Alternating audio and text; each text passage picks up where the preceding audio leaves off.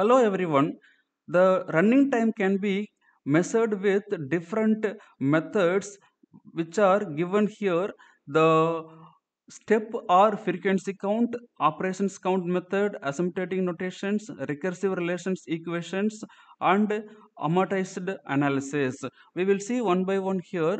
Uh, first method is we are using the uh, frequency count method by introducing the variable count in the uh, programming code. Here the count is declared as a global variable inside the program and which is initialized with the value 0. Then count value is incremented one by one for each step of uh, the statement's execution.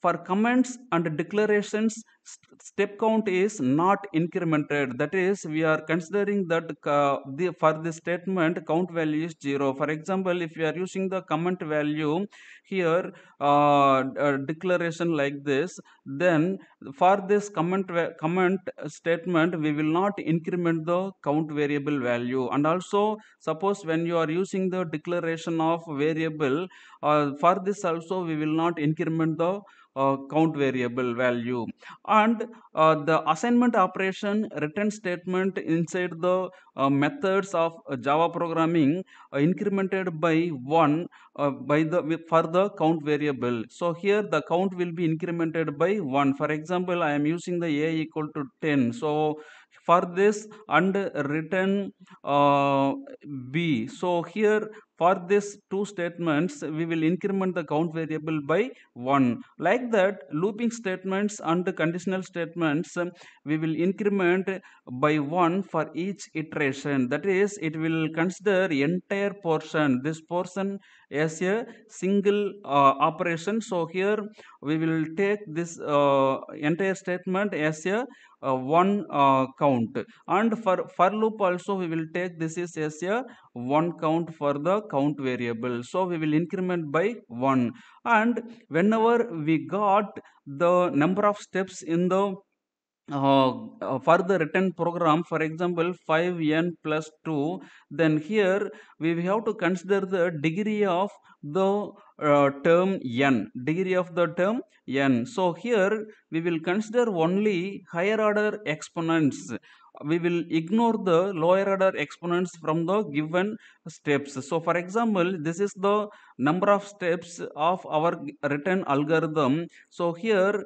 we will consider only the higher order term. We will ignore the lower order term 5n square plus 3n plus 7 because n cube the degree 3 is higher than this degree 2 and 1 so this is a constant. So this uh, uh, these terms are considered as a lower order terms when comparing with the uh, uh, degree 3 so we will um, uh, we will ignore this uh, lower order terms as per the procedure. And also we will ignore the uh, constant multipliers that means the coefficient of the higher order term. So here first we are considering the higher order term then after that we will ignore the coefficient of the higher order term. So finally we will consider only the higher order term without coefficient.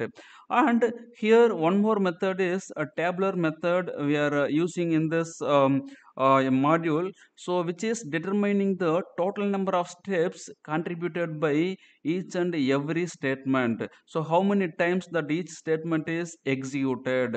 So here we will uh, calculate uh, steps for execution number of steps for execution and how many times that each statement is executing.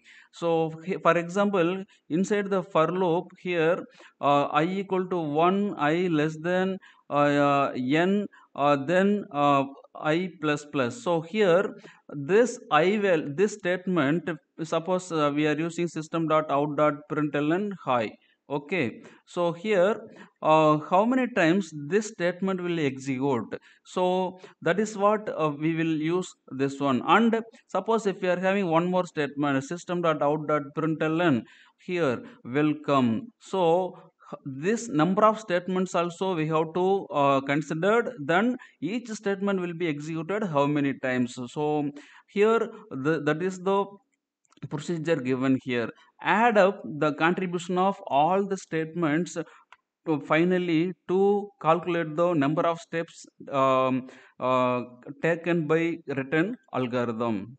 For example, it may give uh, 5n square plus 3n plus 2. So we may got like this the number of steps um, executed uh, by the written algorithm. Thanks for watching.